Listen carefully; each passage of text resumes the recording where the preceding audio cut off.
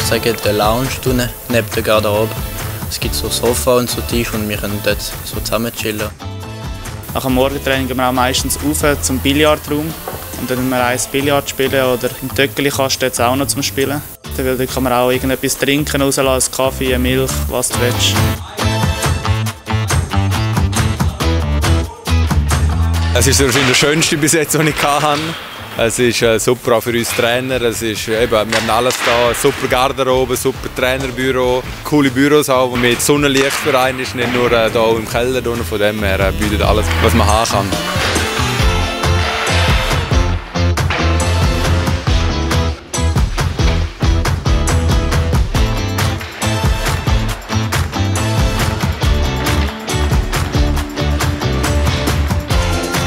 Es hat so ein Räumchen mit so Schlafboxen drin und wir können dort Powernap machen, ein bisschen erholen und wir haben ja auch Physio und Arzt tun.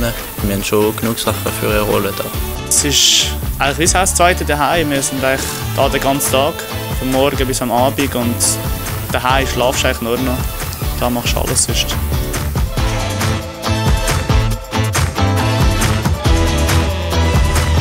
OM heisst On Your Marks. Auf die Plätze, fertig, los!